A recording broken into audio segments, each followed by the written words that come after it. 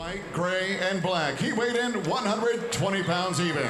In 16 fights, his record stands at 15 victories, just one defeat, 11 wins coming by way of knockout, presenting the fighting pride of Coachella, California.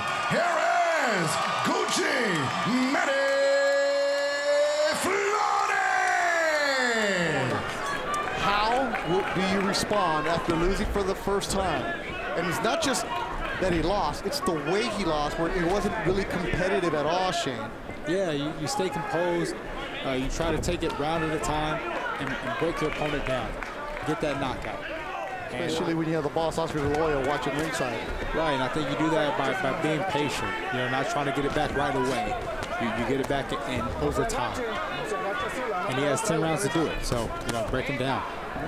The ring walk, you're right though. That's the interesting one. That's the one on social media. We're like, really, you're doing that? Hey, but it, that's the last camp.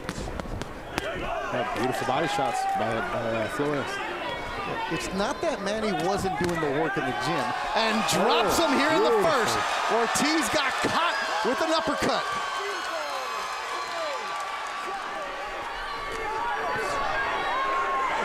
Beautiful combinations.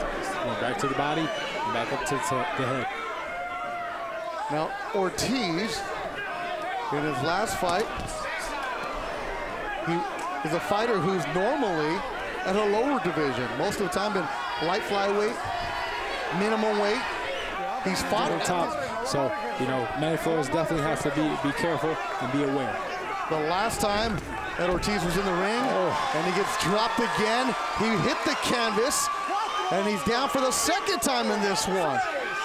He was knocked That would out. be a, very, a, a statement to come back and get a first round knockout.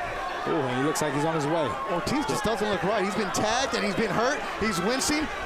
And body work from Flores. Ortiz trying to survive.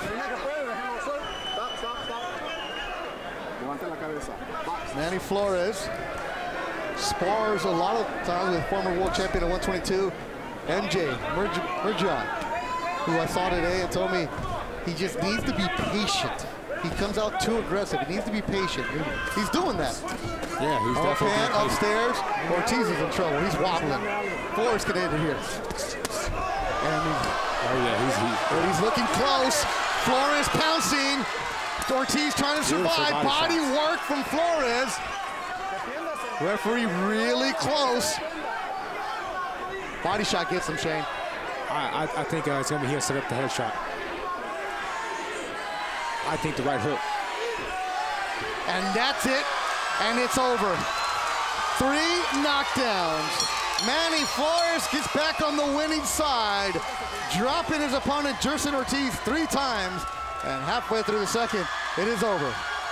So I guess it was just supreme confidence. He came back and he let everybody know why he's the man again. And he, a beautiful performance. Ladies and gentlemen, in comes the official time. 50 seconds, round number two. We have your winner by way of knockout, Coachella's own Gucci Manny